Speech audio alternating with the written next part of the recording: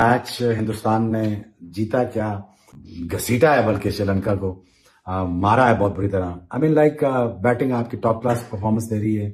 India is becoming a ruthless side और यहाँ से ऑन स्लॉट इंडिया का नहीं रोका जा सकता यंग इंडिया ने क्या आग लगाई है? क्या इंटेंट दिखाया है श्रीलंका के सामने उनके घर में? तोबा तोबा तोबा। रवि बिश्नोई कब से? अंडर 19 2019 बांग्लादेश के खिलाफ भी चार विकेट ने ली। अंडर 19 वर्ल्ड कप मैंने कहा ये बच्चा जो है ये कमाल करेगा। रवि बिश्नोई, जिस तरह चहाल जब पिक हुआ था टी ट्वेंटी वर्ल्ड कप में, बहुत सारे लोगों की आवाज़ थी कि रवि बिश्नोई बिल्कुल तैयार है इंडिया के लिए खेलने के लिए उस बड़े लेवल के ऊपर। लेकिन युजवेंद्र चहल की जो आईपीएल में परफॉर्मेंसेस थी, उसने उसको यहाँ प्रेफरेंस दी थी इंडिया की T twenty world cup spot में पिक होने के लिए। और रवि बिश्नोई, जो कि उस सेटअप से पहले भी रेगुलरली इंडिया के लिए खेल रहा था नहीं knocking the doors of the selectors के, नहीं, मैं क्यों ना टी ट्वेंटी वर्ल्ड कप में हूँ?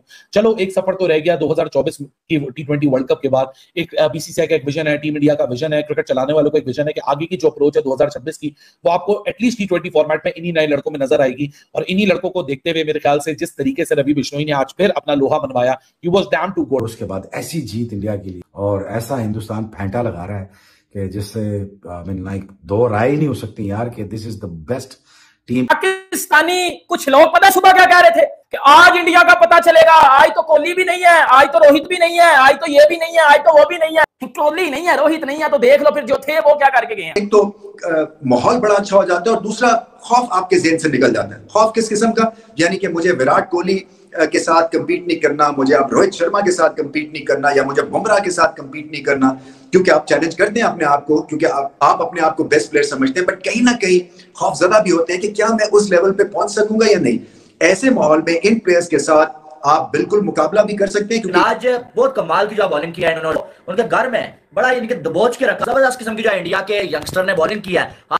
रवि बिश्नोई, बहुत कमाल की जो है वो बॉलिंग किया और आप ये कह सकते हैं चकना चूर कर देने वाला जो काम होता है ना, वो रवि बिश्नोई ने किया आज।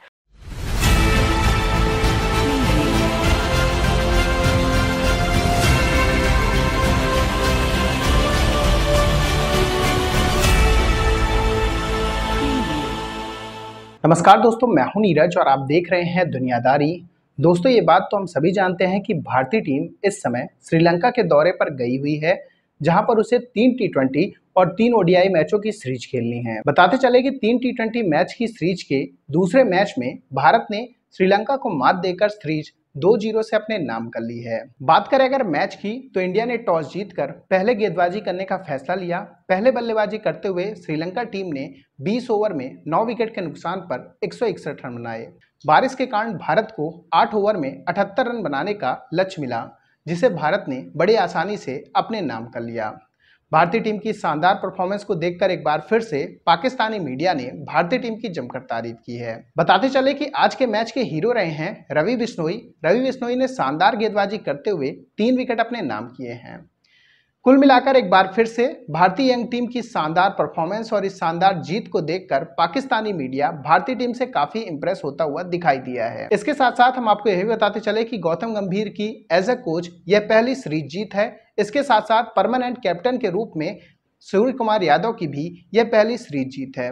तो दोस्तों, आइए चलते हैं और देखते हैं कि पाकिस्तानी मीडिया ने भारतीय टीम की शानदार परफॉर्मेंस और इस शानदार जीत को लेकर और क्या कहा है। वो इंटेंट जो कि इंडिया ने अपनी इस यंग क्रिकेट टीम को पिछली सीरीज़ से दी थी।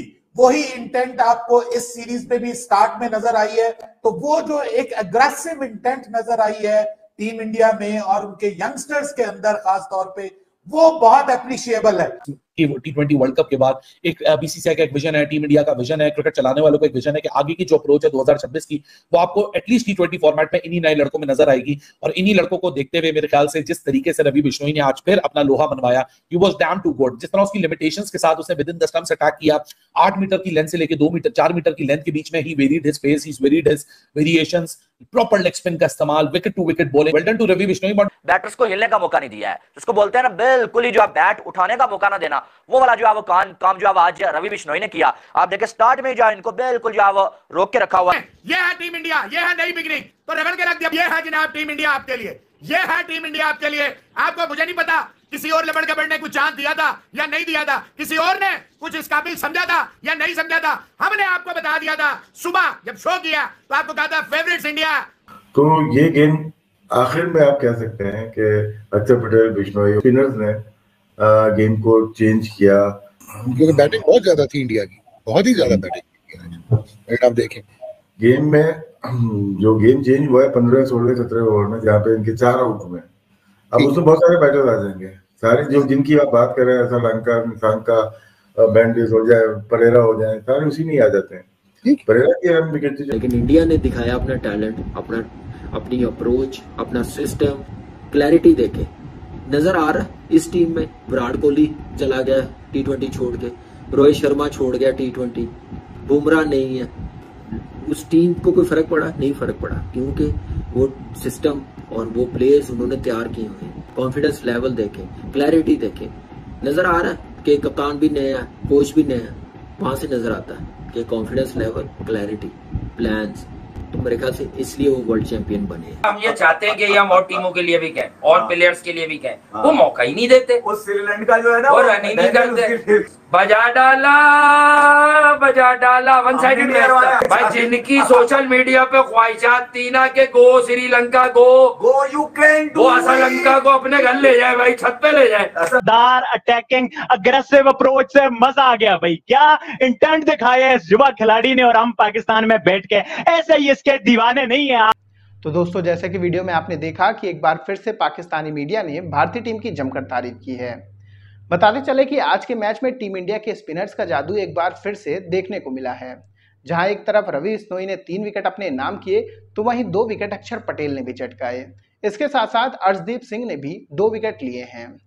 भारतीय टीम की शानदार परफॉर्मेंस को देखकर पाकिस्तानी मीडिया ने कहा कि भारत के दो बड़े प्लेयरों ने संन्यास ले रखा है और दो बड़े प्लेयर रेस्ट कर रहे हैं। इसके बावजूद भारतीय टीम को कोई भी फ़र्क नहीं पड़ रहा है। यही होता है, जब टीम का स्ट्रक्चर और टीम की बेंच स्ट्रेंथ बहुत स्ट्रांग हो तो उन्हें बिल्कुल भी फ़र्क नहीं पड़ता है। जी हाँ दोस्तों, हम बात कर रहे हैं कि रोहित शर्मा और विराट कोहली टी से रिटायरमेंट ले चुके हैं तो वहीं दूसरी तरफ़ जसप्रीत बुमराह और कुलदीप यादव इस सीरीज़ में रेस्ट कर रहे हैं। लेकिन इसके बावजूद कहीं भी ऐसा नहीं लगा है कि भारत को कहीं भी प्रॉब्लम हो रही हो।